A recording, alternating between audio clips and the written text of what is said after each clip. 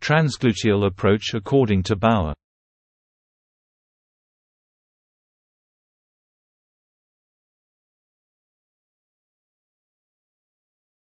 Principal indications: total joint replacement, femoral neck fractures, femoral neck osteotomies, juvenile slipped femoral capital epiphysis, hip joint synovectomy, positioning and incision. The patient is placed in the supine position with a pad under the buttocks.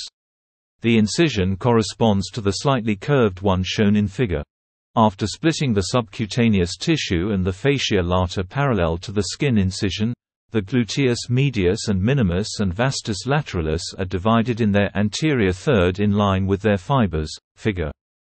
It should be ensured that the tender periosteal tissue between the gluteus medius and vastus lateralis on the front of the greater trochanter is carefully stripped from the bone in one layer.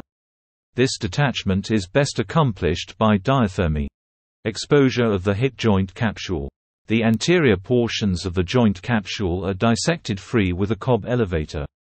A curved Hohmann elevator is inserted between the origin of the rectus muscle and the anterior acetabulum wall. A cranially placed Hohmann elevator intervenes between the joint capsule and gluteus minimus, and another is placed distally between iliopsoas and the joint capsule. If necessary, a second anterior Hohmann elevator may be inserted somewhat distal to the large curved elevator. The incision of the hip joint capsule is T-shaped, figure. After broad opening of the joint capsule near the acetabulum, two Hohmann elevators may be inserted between the capsule and the femoral neck. No damage to the femoral head circulation is likely to result from this procedure, figure. Anatomical site as shown in Figure 1 of the advantages of the transgluteal approach is that the superior gluteal nerve is protected against undue retractor pressure by the wide muscular coat of gluteus minimus, figure. The course of the superior gluteal nerve has been better revealed by detaching the gluteus medius muscle from the iliac crest and greater trochanter. Other advantages of this approach are clear exposure of the femoral neck, the upper parts of the hip joint capsule, and the femoral neck resection plane for total hip replacement.